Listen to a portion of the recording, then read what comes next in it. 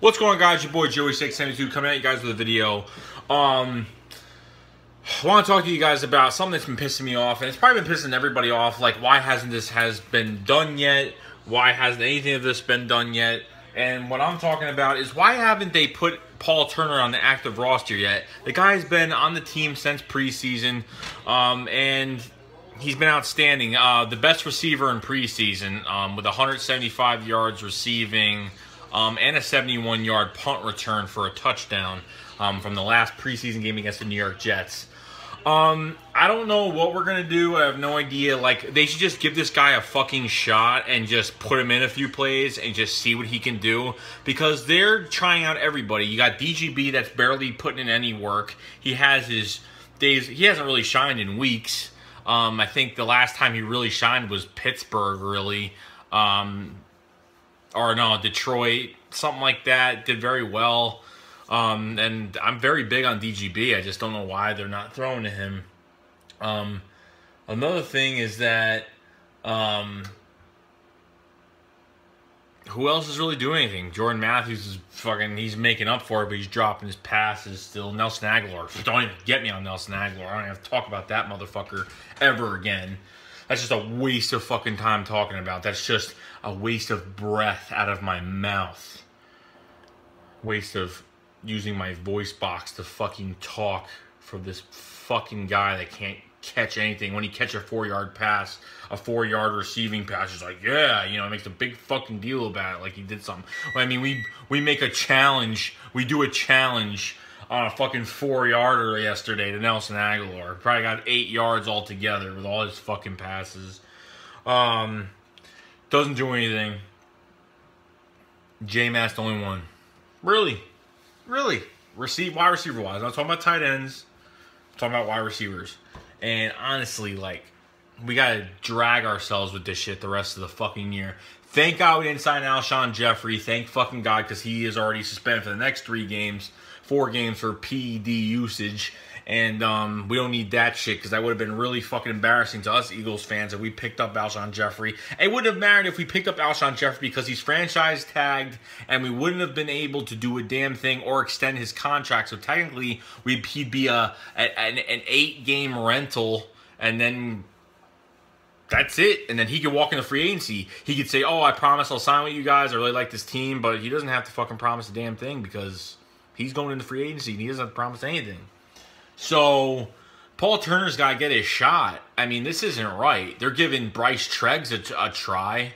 I know, I know Paul Turner ain't fucking fast, but um, I actually know he's very um, elusive. If he catches the ball, he can actually run after the catch very well. But he doesn't have great speed. But we're not talking about the fucking speed. We can have Bryce Treggs on every play. We can. Bryce Treggs is not even getting the ball thrown. The last game, Bryce Treggs didn't get any catches. Didn't throw the ball to him. DGB didn't get the ball thrown to him. Is it the coach? Is the coach telling him to throw to a certain receiver? Is Wentz real, or, or is he giving Wentz the freedom to throw to whoever he wants? I think Wentz is throwing whenever he wants to whoever he wants. Um, it's fucking crazy.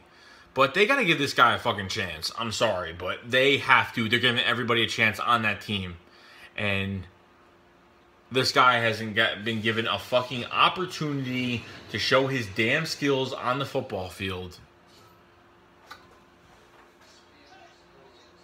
And they gotta do something. It's it's getting to the point where, all right, can you guys just put him on the field? Like you put Bryce Treggs on the field, and he had what so far three catches for over 100 yards so far, um, with a 58 yarder from the Giants game. I mean, the only problem with Treggs is that he's really fucking small but he could, they got to use him. I mean, the size is not even the, the, the, issue. It shouldn't be the issue. If he's fast and he can do quick slants up the middle and do whatever he's got to do, I don't see why not put him in the fucking game or try to throw to him. There's got to be a mismatch with his fucking speed.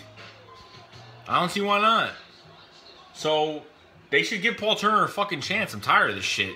And Nelson Agholor is just, uh, dude, just put him as a slot or something because honestly, putting him as an outside fucking a deep threat that we're supposed to have, he's not doing a fucking thing. I don't know how many times I have to tell you this. I don't know how many times that we all have to talk about this because we talk about it every fucking week. Oh, Nelson Agholor, no fucking catches. Nelson Agholor uh, didn't get even over 10 yards fucking receiving.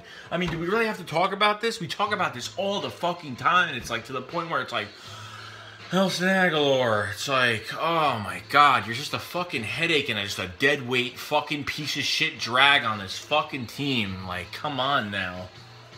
It's just to the fucking point. Like, what the fuck? I just hate saying the guy's fucking name. I just can't stand it anymore. Like he's a nice guy and he's cool and you know he really wants to play hard, but I'm sorry, but this team is not willing to keep you here when you're not putting in the fucking production that the team needs you to put in.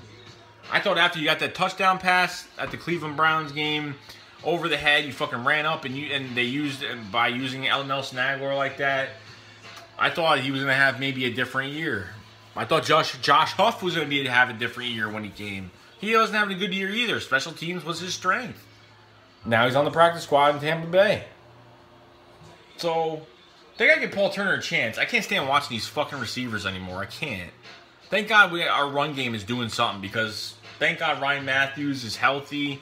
And man, I hope he stays healthy and I hope he runs the fuck out of over everybody. I just hope. But please give Paul Turner a fucking chance. I am fucking begging you.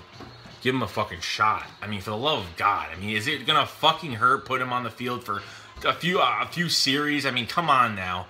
You're saying that Agholor is better than Paul Turner? For God fucking sakes. I mean, are you fucking serious? He was dropping, Nelson Agholor was dropping fucking passes in preseason, for God's sakes. Come on now. Preseason is preseason, but if you can catch a ball, you can catch a fucking ball. I can see if Nelson Agholor caught like was a top receiver in preseason. I caught like you know 20 passes for like you know 600 fucking yards. Then I'd be like, holy fuck, man, he's a beast. And then he fails in the regular season. I could see that, but that's not the case. God, put fucking. I know Paul Turner is a slot guy, but put him the fuck in for just get Nelson. Just get that fucking guy. I mean, I look on TV on the game and I fucking see them wearing his. I see a few people wearing his jersey. I'm like, thank fucking God and get his fucking jersey. Jesus Christ, thank fucking God not wearing that number 17. You know what number 17 we need is Alshon Jeffery. That's the number 17 that we're looking for after this fucking season. After the season's over. Fucking, that's the number fucking 17 we need. I'm gonna relax, guys. Bleed fucking green. Preview video for the Seahawks. And I ain't done because I gotta talk about the Seahawks. So tomorrow I will make that video. And that's it. So you guys have a good day. Joey672 out.